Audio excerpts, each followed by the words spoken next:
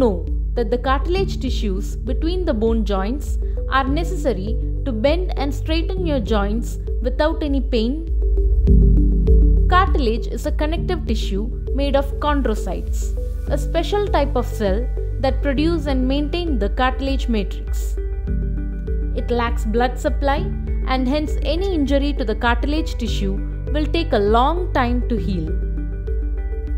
Common cartilage conditions include injuries, osteoarthritis, costochondritis, herniation or disc prolapses, chondromas, achondroplasia, etc. Our experts at Ortho One are specialized in treating all types of problems related to cartilage. We tailor make our treatment to suit each patient's specific need. To know more about cartilage and the conditions affecting it, please visit our website